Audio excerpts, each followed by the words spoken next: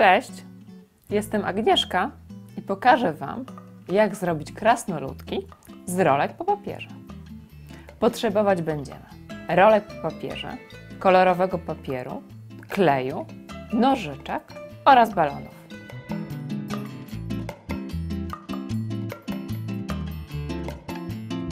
Zaczynamy od ubrania rolki w balon.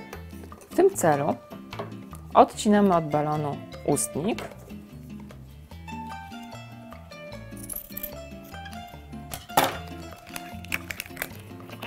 i naciągamy gumę na rolkę.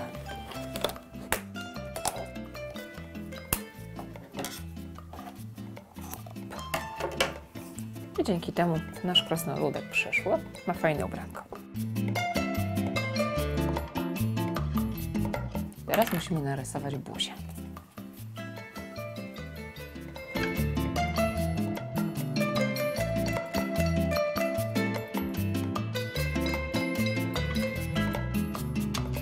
I nasz krasnoludek prawie gotowy.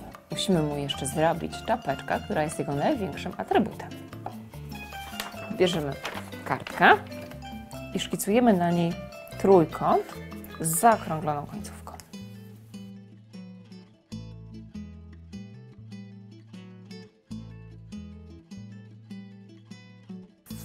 Żeby mieć pewność, że będzie jak najbardziej równa, składamy i wycinamy naszą czapeczkę.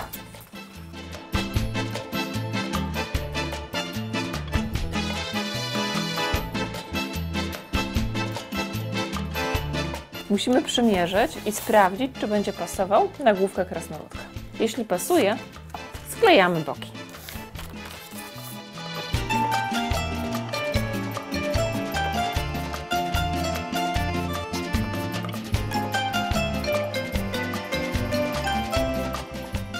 Nasz krasnoludek gotowy. Jeśli chcemy, żeby służył nam jako kalendarz adwentowy, wystarczy wyciąć numerek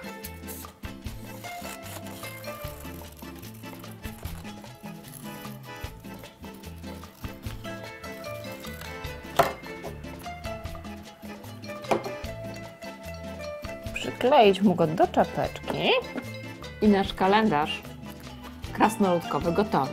Nie zapomnijcie schować do środka słodyczy lub jakichś niespodzianek, małych zabawek dla dzieci. I pamiętajcie, że krasnali musi być duża gromadka, muszą być 24.